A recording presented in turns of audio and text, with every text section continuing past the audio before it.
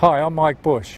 One of the reasons our results are so good If the beam drifts along the vehicle in the direction of travel while it's firing, the gun is fooled into thinking the vehicle is travelling faster than it actually is. Just watch this.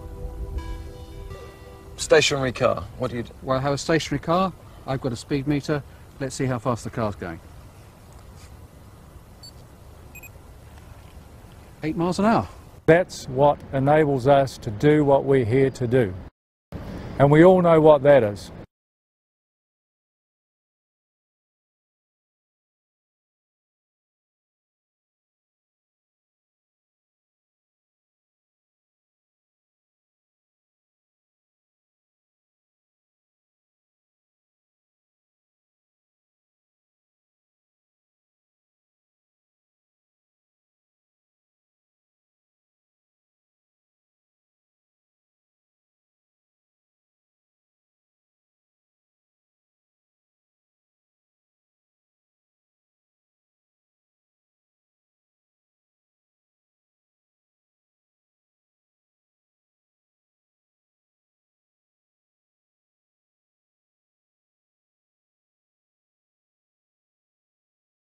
We do make mistakes. We're not perfect.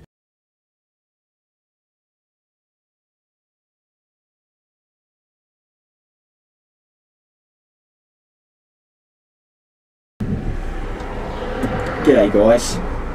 Just thought I'd uh, do the shopping a little later today because we were in court yesterday challenging the speeding ticket and I got the, uh, the police prosecutor got told off not doing his work properly. And I thought to myself, hello, so what's going on here?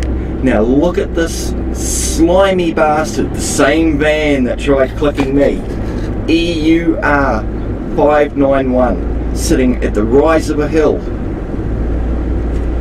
Yeah, I'm going to drive slowly, mate, because you are a buckwit.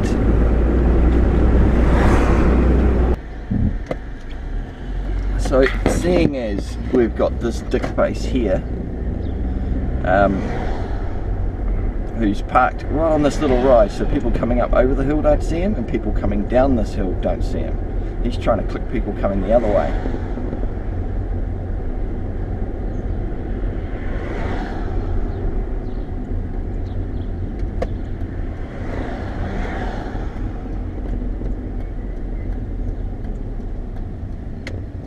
Sitting there with his car idling.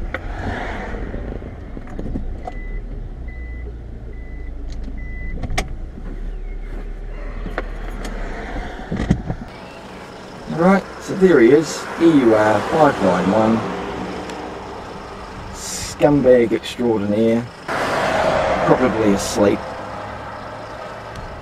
So, yeah, beware that is sitting here not uh, yeah it's it's 250 300 meters of a straight road but as I've just shown you and I'll show you again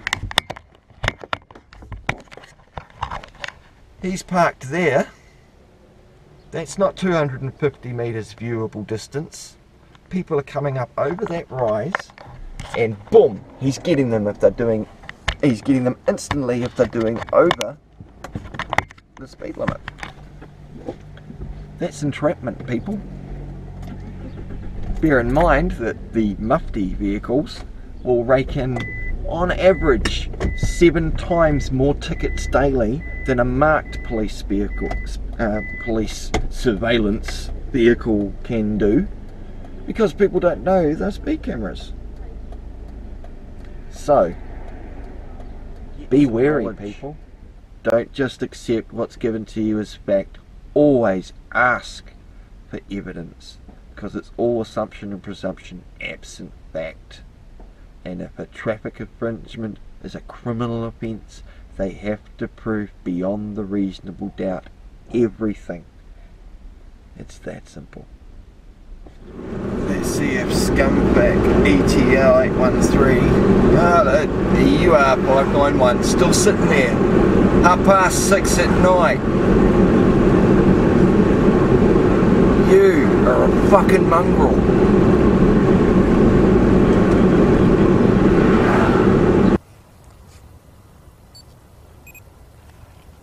Eight miles an hour.